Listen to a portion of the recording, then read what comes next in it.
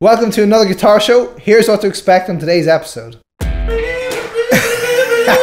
To make it sound better, you would put it at this side Exactly. of the fret. I sort of saw that as going round in a shape, uh-huh. round the fretboard like this. Structure, keeping this, making sure that the song structure is simple, will enable you to learn more songs because you know the first four bars, you know the song. So in this episode of another guitar show, we're going to be asking how can we learn more songs faster, which is really something I know Andy focuses a lot on using songs to help learn patterns of guitar scales, all that stuff. But it informs so much about the library of your kind of musical knowledge, and you may be able to see from our nice accessories. They're not there for fashion. We're going to be talking about where to put a capo and little tricks that Andy's got to help you find kind of little links that you can make. So what do you think about that, Andy? I think a lot of people are really scared about getting a capo or using one and don't use them enough. It can be difficult for starters, can't it? I was one of them. Mm. I praise using a capo. I'd recommend every student to get one, especially those that follow my lessons in particular. But I started playing guitar seriously when I was about 12, year, 12 years old. Probably Mhm. got it when I was 12. Um, it was a Christmas present. And I didn't get a capo till I was about 17. 17, maybe 16, but like I was in a band. We'd done gigs Yeah. before I got a capo. And I remember the guy in the guitar shop, you know, demoing it, seeing what it was, and it was like it changes the key. But he didn't explain what use that had Yeah. beyond it just sounding higher. That's literally what I say. It just Yeah. sounds higher, which is essentially what it does, but there's a lot more to it than that. Um, let's just show the, the two Oh, main we've types, there are many others. This is a real fancy, fancy capo, really. A G7th capo. This is the one that I use, and the great thing about it is all the capo is ever going to do is clamp down the strings at a certain fret. There are even really posh capos these days that hold down certain strings, Yeah, not others. Great. We're not talking about those. Nope. All six strings, essentially using, you know, a, a capo instead of what our first finger might do, uh, like a barring finger. Exactly. But what that does is a couple of really cool things. Um, the same thing would if you can put it on the third fret. This is a trigger type capo, which is typically the one that I recommend because it's easy, easy to use. Um, clip it on and off. The one thing I will say about that one in particular, if you just try and show that there's, I think it's really flat. I think it's a really straight one. That that's a Mm-hmm. classical um, guitar capo, Yeah. and the fact that it's perfectly straight and our fretboards are not I perfectly appreciate that it straight. This has a little arch to it. Many other trigger type capos have a little arch to them. Uh-huh. Not too much, but that lets them ring out better. So that one might struggle to ring do. out as well. It was just the ones that we had. But if there is ever a string that doesn't ring out well, like that one's got a little bit of buzz to it, You need to adjust squeeze this squeeze it. this one a little bit harder, and suddenly it rings out great. And that means I could even put it really high or over the bad side of the fret, for example, because it will sound better if I move it up this side. And it does pretty much ring out. Though to make it sound better, you would put it at this side Exactly. of the fret. So what does that enable you to do? Well, if we had a song that was G and C, and that was our song. But we could not change between G and C that quickly to being able to play that song. Capo third fret, and it's suddenly either E and A, which are the two chords that I teach any Yeah. beginner, but also E or A sus2, which is even easier. Because we're opening, this one isn't a total beginner kind of talk through. We're going to be covering some higher level stuff, Yeah. including hearing key changes and all that kind of thing. But that's a, a really important thing to be aware of. Um, but G is a really guitar friendly key. G sharp, not guitar friendly at all. Let's let's play that song that is well known in the key of G sharp. Ah, don't know, but there probably is one. Here I am in the key of G sharp now. And I'm still just playing that standard E Just the chord, E and to me it looks and feels the same. The strings are held down even more than, you know, closer to the fretboard than they would Mm-hmm. be. So again, making it easier to play, easier to press Mm-hmm. down. And, um, and there are a few tricks you were mentioning earlier. You'd like me to talk, to talk a little bit about you know common things that we Yeah. can do to to uh, to play more chords. So the key of E is very common in um, guitar land, but it has a lot of bar chords or Yeah. trickier ways to play those chords. So for a lot of songs, we might think um, of the key of E as you change your chord sheet to be appropriate for the capo at the second fret and a D chord, which you would do by using the transpose feature on a website for songs. There are many of them. I'm not going to mention any particular one, but I think we all know which one we mean. So yeah, and that is suddenly sounds like an E major chord if you play that E chord. They're the same chord. I think a song that I would play with this would be like James Sit Down. Oh, sit down, oh, sit Yeah. down. Sit down next to me. And that would be E, A, and B. The B you could play as a B7, but typically, to play James Sit Down, Yeah. you'd be thinking the full bar chord. Exactly. Suddenly not a beginner song. With a capo, it totally Yeah. is. Um, there are other songs that you need a capo to be able to play, Yeah. such as Wonderwall. You cannot play Wonderwall along to the record No. without a capo. You just need to, unless you retuned your guitar or something Yeah. crazy. That's just how it's played.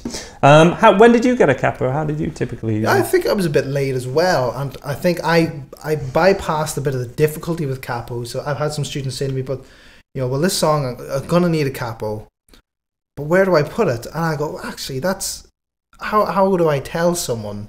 How do I show someone how to know?" So I kind of got it a bit later as well. So I was already happy with bar chords and transposing keys and things like that because I could visualize what the closest of these CAGED shapes were. So, I So you're already thinking about the CAGED shapes by the time you got a Right, capo or a is why it was capo, so we have to admit. Absolutely. So, um, again, there are songs that you need a capo to be able to play. I think a couple of famous ones like Hotel California would be capo seventh fret. Mhm. Live, they play um, capo fifth fret Yeah. to make it easier for the singer, which is a, a thing that you can do. Which Another benefit of that. Yeah.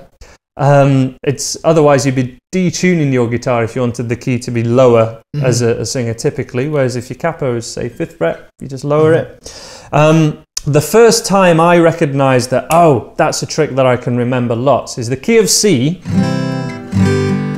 which the the chord C G yeah that song again that we covered so much in the uh, in the acoustic Yeah. guitar episode.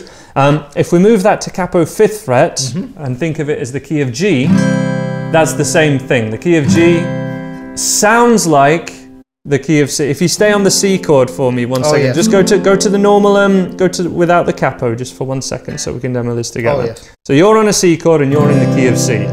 I'm on a G chord, but the capo's at the fifth fret, but these chords sound the same. Three, two, one.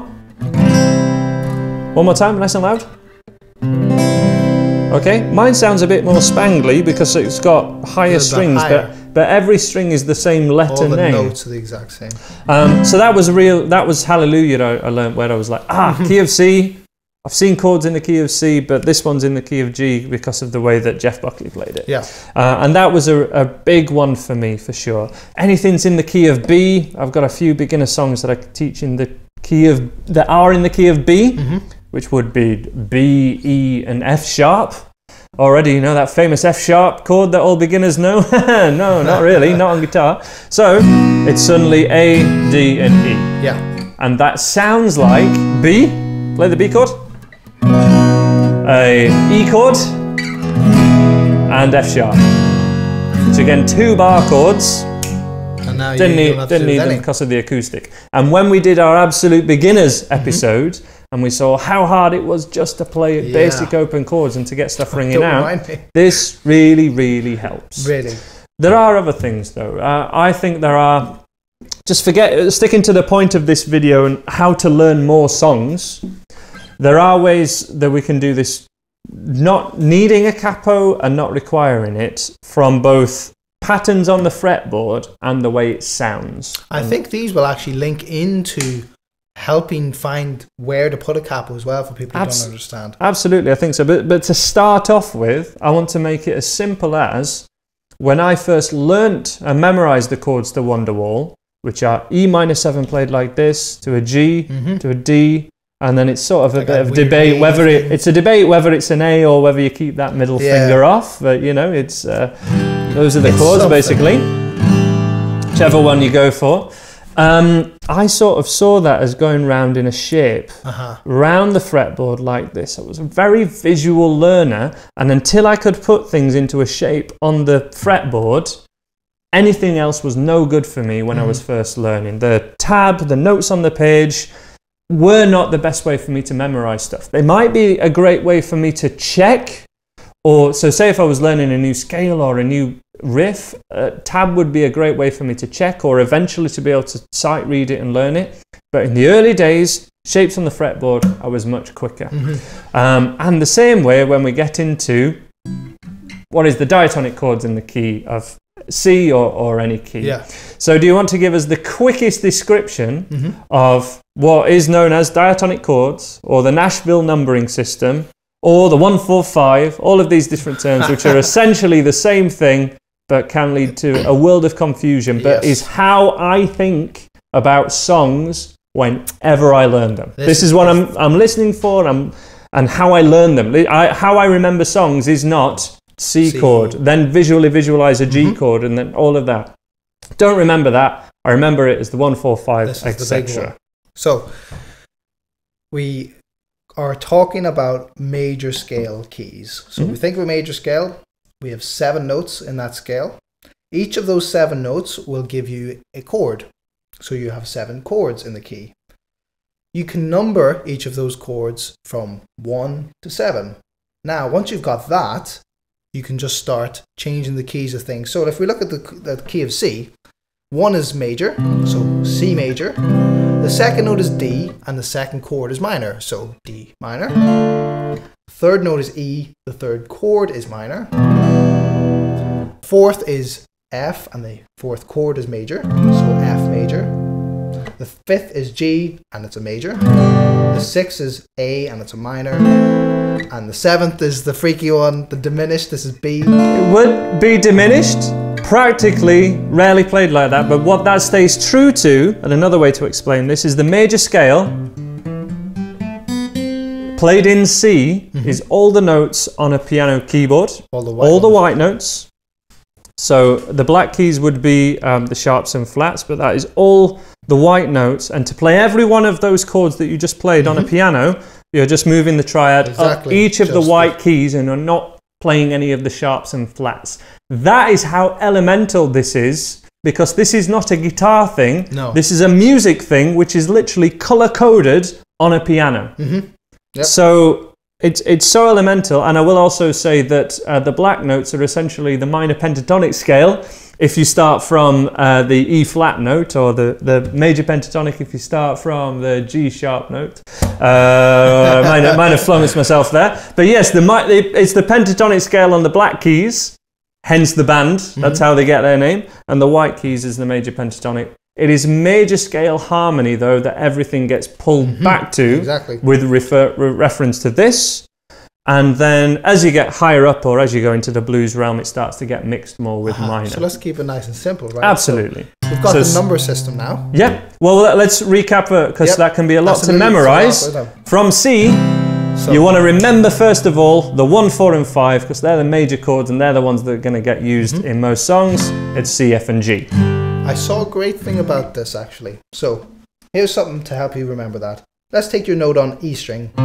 This is this will work from the E string and the A string, but let's take it from the E. So we've got a note C. We want to know what the major chords are. Mm-hmm. We will do this shape.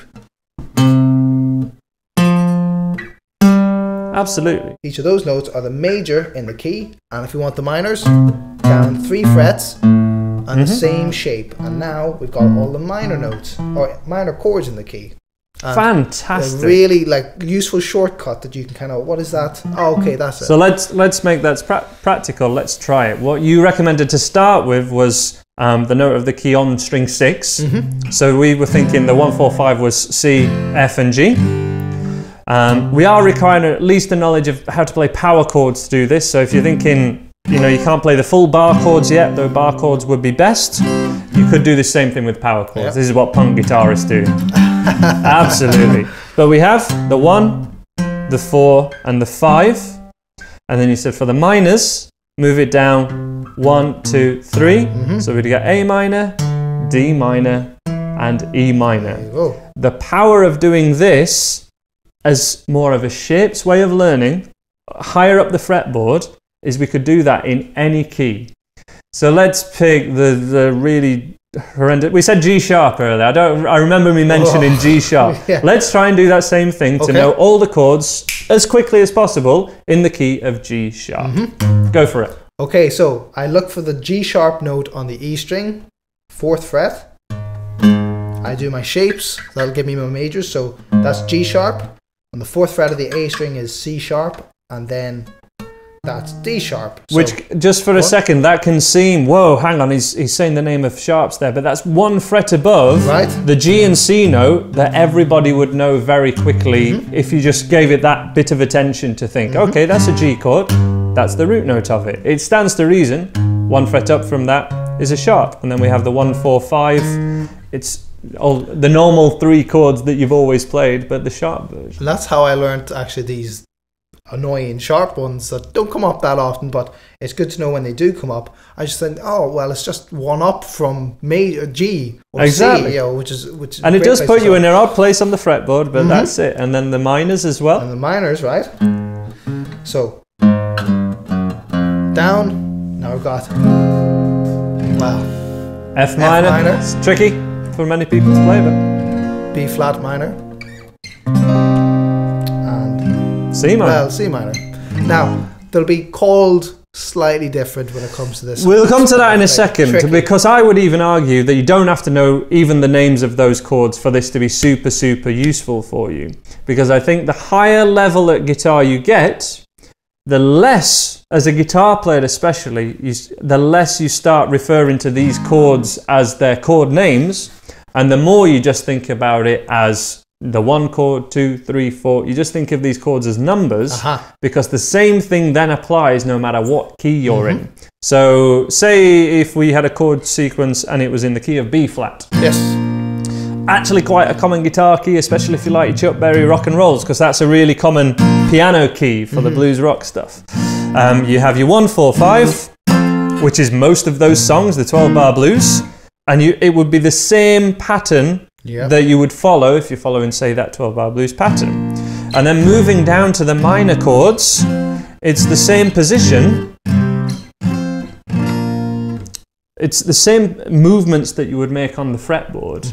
And all you're thinking of when you remember that, it's way more useful to think about it and way easier to remember to remember the numbers and remember those moves, perhaps the sound of it. That sound of going from the major um, tonic, the, the one chord, to the minor six has a sound to it, which no matter what key you're in, Sounds the same. you can hear the one, four, and five. Just showing off that I can play bar chords, really, that's all. Um, the one, four, five sounds the same relative to the one. So C, F, and G sounds relatively the same as D, G, and A. Uh-huh. But every time we do that, it's something else to remember because of sharps and flats and Yeah. things like that. So uh, you need that basic theory of knowing what notes exist. Many people learn that as the note circle, or just remembering that there's a sharp and flat between every note apart from E and F and B and C. Um, so there's no B sharp. Um, and that that will get you so much further than having to remember what's the second chord the in the chord key of? G sharp. You know, you, Uh-huh. you're not often put on the spot like that, unless No. you're a teacher. Actually, Yeah. it's only when you know you get put on answering a question from a student. Or you're me and guess that tune. That tune. but This- you you spoke on you got on about um, ear training Mm. essentially was what we call it. Being able to hear what type of chord, where the chord moves to is a really useful skill for this, right? So it starts off nice and simple. Now you might look at that and say, well, I know that's an E major because I recognize the shape. So you might think it's easy, but can you hear that it's a major chord is happy? And then that this one, E minor, is sad. That's the beginning. Can you mm-hmm. identify a chord? Go and listen to some some songs, some tracks, and listen to the chord because you won't be able to see it, and then say, I think that's a major chord, that's a major sound, that's a minor chord. That's half the battle. Absolutely. And then the next thing you can do is listen to the movements like you were doing the one four fives. Let's take one chord move at a time. Let's go one four. Or or 4 1. You can hmm. still hear the same qualities moving. Try to identify that chord movement. And then when you're happy, go 1 5. And again, listen for the different the differences in those chord movements, and you'll start to realize that every change from one chord to another has a unique sound which sounds the same across all keys. So that's one way that really you can learn songs a lot faster. I have now, quite thankfully, gotten to the point where I can listen to a song. If someone tells me what key it is, I can just listen to the track and say, okay, I know what the chords are. Through the numbering system and mm-hmm. through ear training, listen to it. That's a major chord, so it's one. That's a that's a five chord major, whatever it is, and it's so useful. And this is how it starts. Build it up slowly. Do you have anything to add for that, Andy? I have endless amounts of stuff to do on this because um, it is something that helps so much, and it was something that came to me more naturally than I've seen it come to others. Um, perhaps because I sing as well and always wanted to sing. I sang a little bit before I played guitar, even if it's just in school. I could hold a tune from mm-hmm. being an, an early age and, and get a tune out of something, and that just makes all of this connect. I was also had a lot of piano lessons before I started learning guitar properly, which meant when I was playing guitar, I was trying to find the stuff, find the chords, find the mm-hmm. notes that I knew how to play on piano, which instinctively makes you go, la. you sort of sing it along in your Yeah. mind, and that connection is always being improved and forged. And without that connection, um, th- there's only so much you're going to get out of playing guitar. Um, I would also say, I would also argue that if you don't look at this and if you get to a higher level in guitar without this skill, so say you're like, I just want to learn songs and I can read tab and, or I read traditional sheet music, maybe you're a classical player or something. If you don't do this skill, the, those people are the people that I've seen stop playing out of choice because then lose interest in it. These are the grade eight pianists that study at, you know, then go on to degree level or guitar players that, you know, learn to shred and then just, they just stop because they never learn how to actually find their voice on the instrument and play what they hear. And they couldn't play a note perhaps without the sheet music in front of them. I've been to a lot of gigs in my life and there have been very few of them where the musicians have actually had the sheet music in front of them Yeah. at the gigs that I would pay to. When you do that, it tends to be a classical gig, it's an orchestra and things like that. Pulling this back to how that enables you to learn more songs, being aware of that. If you can play what you hear, you have freedom on the instrument. Mm-hmm. Even if you have limited skill, the ear training will, will be more useful to you than faster fingers, Yep. typically. Yep. And it, it's such a hard thing because in the early days, you know, that's what you want the, the faster fingers, the skill. But the ear training allows you to play so much more, remember so much more. That musical memory. How many riffs have we all learnt and then we're like, oh, I used to be able to play that. I can't remember it. It's a lack of a musical memory. And that is such a trainable thing and something that I need to train more on my YouTube channel and do so much more on it. But the reason I haven't done so much on it is I appreciate that what we learnt in the acoustic beginner episode and the electric one, without the physical skill first, Yeah. no one's going to take the time to learn the ear training. Yeah, the mechanical. it takes it, it does take the skills that have to build up together, and I put aside to the Yeah. physical skill You first. kind of- Absolutely. That's the most important one. But when you're at this intermediate and going on to advanced level, I would say, and there are a, a lot of beginner ways into it, and it can be your way to learn. It really helped me. Mm-hmm. There's absolutely no doubt. There, uh, there was a magic that happened as well. The first time that I played a riff, I think it was a Travis song or something. So first thing I played on acoustic guitar, and it sounded exactly like the recording as I remembered it. Something really clicked in my mind then. Like that's amazing. Mm-hmm. Yeah. Maybe because I played a lot of keyboard and learnt a lot of keyboard, it never quite sounded right. Mm-hmm. So I just played this. I think it was like "Sing" or something by Travis, and it just sounded exactly like it. I was like, "Wow, that that's a buzz. Yeah. That is a real buzz." And I just, I think I just followed that as much as I can, Yeah. really.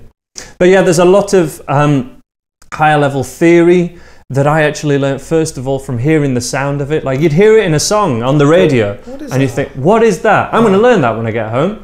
And then you'd see, oh wow, so that's what a diminished chord is, or something. Right. So you build up from that core, major, minor, suddenly once you're happy with that, go to sevenths. You'll hear another Mm. kind of just kind of stick that on another pin board in your head. Okay, that's the major seventh sound. For the sound of it as well, like it's the, it's the way to get that piano jar, uh, piano bar Yeah. sound, just by playing.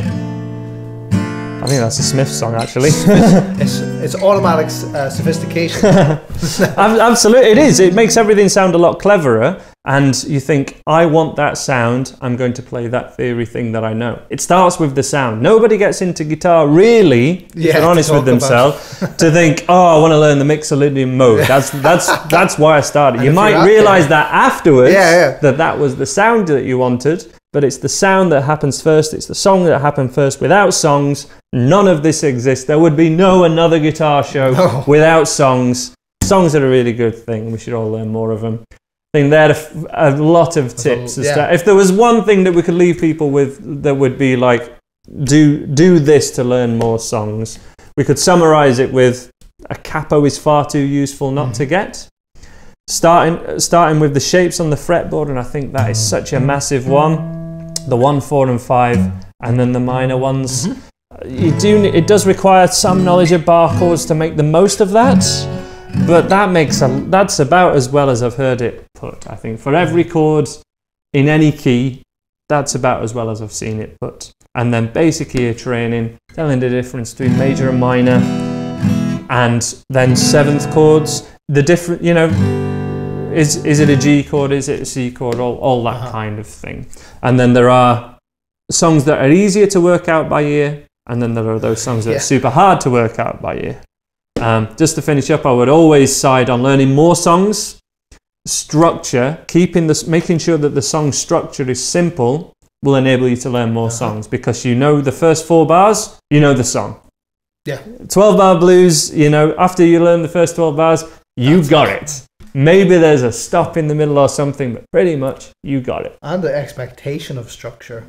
Exactly. Once you do so many songs, you go, it's probably a verse chorus or a verse pre chorus chorus. You start to just see these patterns of the way that people have built these songs, and you can kind of. You're just. expecting that Yeah, repetition. you expect it, and you kind of learn when it's going to come as well, and you go, okay. Middle eight after just before two minutes, maybe. Oh yeah, middle eight for the, before the last chorus. Exactly. You know, all those little those good little tips are so, So, useful. song structure, and that exists to keep the listener's attention. There's a reason most Yeah. songs are three and a half minutes. It's because that's the That's average attention span of humans.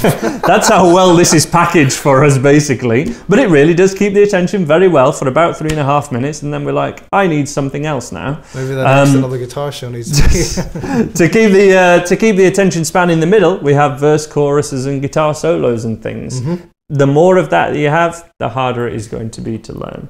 Um, yeah, I hope that's been Yeah, I hope that's been a lot of use to you. I know we get so many questions on this, and they they would be the first points of call. Much more on this to come. Let us know what you want to see from another guitar show. Let us know in the comments below. And this show is going out every Sunday, around a 30 minute show on the Andy Guitar and the Your Guitar Academy YouTube channels. So make sure you subscribe to both to see every episode. And that's been us for today. Thank you for Bye for watching. now. Bye for now.